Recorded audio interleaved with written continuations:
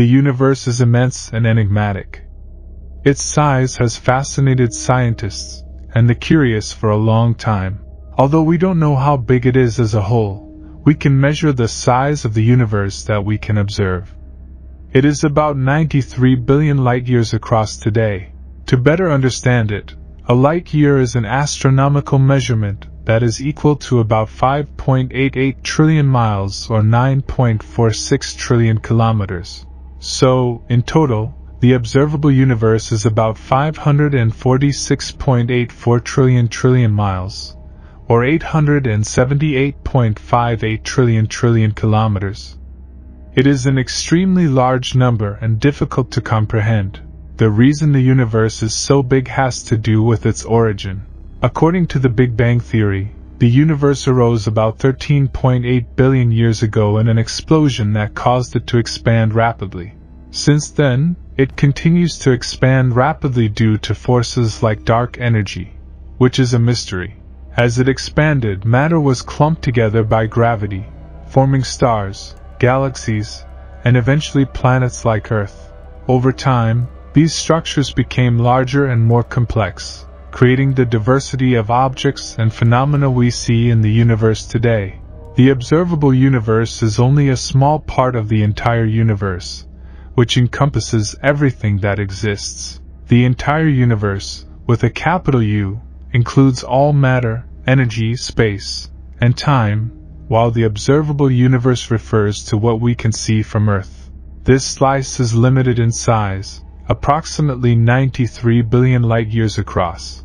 Since light travels slowly, what we observe in the observable universe are objects as they were in the past. Also, due to the expansion of the universe, distant objects are receding from us, making them more difficult to detect as their light is stretched and redshifted. The edge of the universe is a mystery with no definitive answer. Some theories suggest that the universe is infinite and lacks a discernible limit, based on cosmic isotropy. Another theory proposes that the universe is finite but curves in on itself, without a defined edge. The idea of a multiverse is also raised, where our universe would be part of a larger set of universes. Thanks to the James Webb Space Telescope, we discovered the cosmic web, a large scale structure of galaxies, filaments, and voids. This network shows how matter is distributed and how galaxies evolve over time, originating from small fluctuations in the density of the early universe and amplified by gravity as scientists have found filaments in the cosmic web of the early universe. These filaments were seen in quasars, which are bright galaxies with giant black holes. These quasars existed shortly after the Big Bang. An arrangement of ten galaxies connected by a bright thread like quasar was found. These structures challenge what we know about the cosmic web, suggesting that these filaments existed at the very beginning of the universe. Furthermore, this finding gives clues about the impact of black holes on their environment at that time. The James Webb Telescope has made important discoveries in the early universe and in interstellar chemistry. He identified the first filaments in the cosmic web, showing how galaxies and star groups form. He also detected the essential molecule methylcation in a disk around a young star in the Orion Nebula, where planets form. This molecule is key in the chemistry between stars and its finding confirms its role in the creation of complex carbon-based molecules. This also gives clues about how organic molecules are generated in disks around young stars, influenced by ultraviolet radiation. These achievements highlight the sensitivity of the James Webb Telescope for exploring mysteries of the universe and cosmic chemistry. The James Webb Telescope has shown that galaxies cleared the dark gas of the early universe, allowing light to travel unimpeded. This process, called reionization, was a pivotal moment in cosmic history. Using James Webb, astronomers found that around 900 million years after the Big Bang, existing galaxies ionized the surrounding gas, making it transparent. Bubbles of ionized gas around these galaxies grew and merged, gradually changing the universe to the transparent state we see today. These early galaxies also surprised us with active star formation and unexpected structures, challenging what we knew about galactic evolution. By studying these ancient galaxies, James Webb provided valuable insights into their properties, masses, and compositions, and how they interact with their surroundings. These findings highlight how James Webb is revealing new details of the ancient universe, allowing astronomers to better understand how galaxies form and change. The James Webb Space Telescope's JADES program investigates how galaxies evolved in the past. It has identified hundreds of ancient galaxies, some of the oldest known, helping to understand how the first stars and galaxies formed.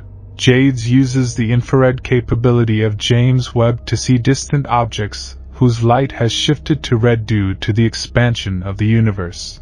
He has found galaxies with very high red motions, demonstrating the effectiveness of the telescope in studying the early universe.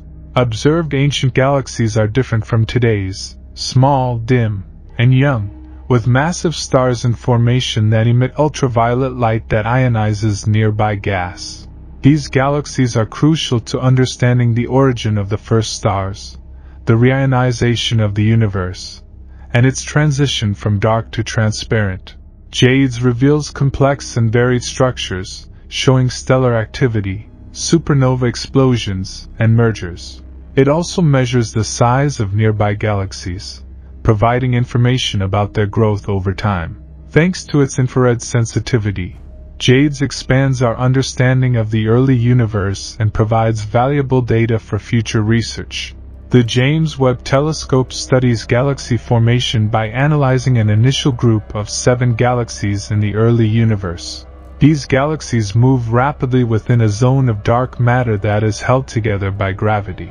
Using its NIRSpec instrument, the James Webb measured these velocities to confirm the existence of this initial group. Furthermore, using spectral data, he modeled how this cluster would evolve over time, predicting that it would become the coma cluster we see today. This shows how galaxies clumped together in the past and developed into current structures. It also highlights James Webb's ability to study distant galaxies in the infrared. The telescope also looks at how galaxies change over time. In early galaxies, he found chaotic structures that grew rapidly due to gravity and gas.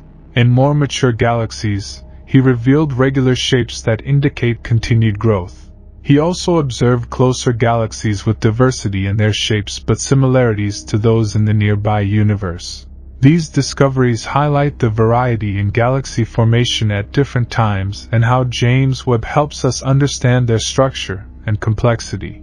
The James Webb Telescope has provided valuable data on distant galaxies and the formation of molecules in space. For example, he discovered a carbon molecule called a methyl cation around a young star in the process of creating planets, shedding light on cosmic chemistry.